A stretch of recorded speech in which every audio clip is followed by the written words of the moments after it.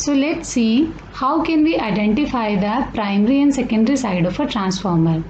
So as you can see in this diagram, if we have two wires on one side and more than two wires on the other side.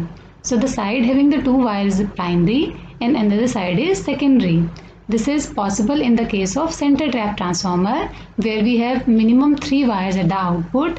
So the center one is common and the first and the third one is for particular voltage as we did in the earlier slide 12 0 12 so first and third wire will give you 12 volt and center one will give you 0 volt.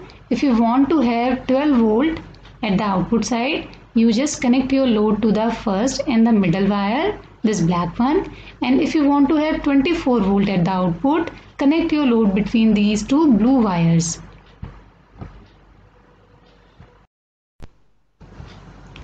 Sometimes the rating is already mentioned on the transformer.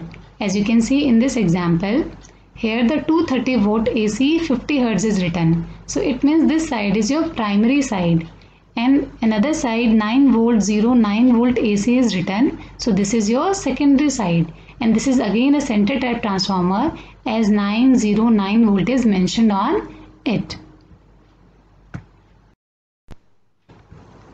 We can also identify the primary and secondary winding of a transformer with the help of multimeter.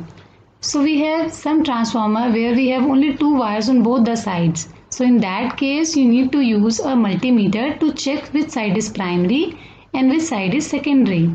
So just connect your red and black probe to these two wires and keep your multimeter to the resistance mode or ohm uh, meter range and check the resistance between these two wires.